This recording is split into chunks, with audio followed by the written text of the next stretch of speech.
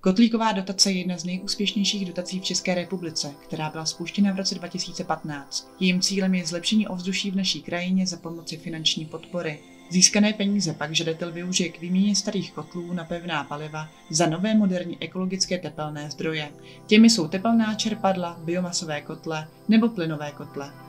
Peníze na kotlíkové dotace pochází z Evropské unie a celková částka pro Českou republiku činí až 14 miliard korun. Žadatel si nejdřív přečte na internetu, kdy vlastně bude moc podat žádost o kotlíkovou dotaci, pak si připraví veškeré podklady, jako je revize, fotky, případně souhlas spoluvlastníka. Když tady to všechno bude mít, vyplní si formulář v elektronické podobě na stránkách kraje a v tu danou dobu, kdy je vyhlášená ta kotlíková dotace, pošle elektronický formulář na úřad. Pak vezme veškerý ty podklady, vytisne si i ten formulář a pošle to buď poštou, nebo to doveze na podatelnu kraje. Kraj má následně několika měsíční lhůtu až rok ke kontrole žádosti. V případě úspěšně vyřízené žádosti podepíše žadatel smlouvu a obdrží určenou částku k výměně kotle. Výdaje za výměnu kotle je možno předložit také zpětně, pokud splňujete podmínky dotačního programu. Žadatel může získat finanční kompenzaci až 95% z celkové částky za kotel. Ovšem maximální výše získané dotace činí 130 000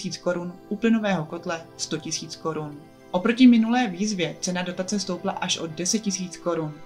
Současná vládní kandidatura říká, že dotaci získá každý z žadatelů a občané si ji mohou vyřídit sami nebo využít služby kotlíkových specialistů, kteří vyřídí celý proces dotace za žadatele. Velmi často spolupracujeme s obcemi, kdy starosta dobře ví, kdo má starý kotel, jaký je tam ovzduší v tom v té obci a kdo potřebuje pomoc.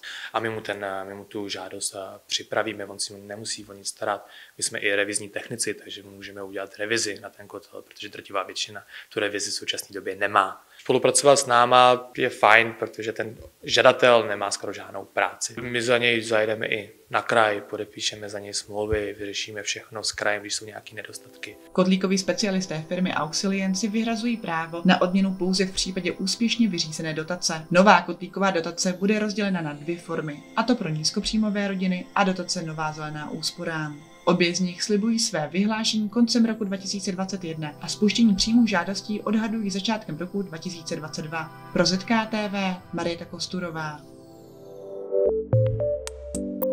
thank you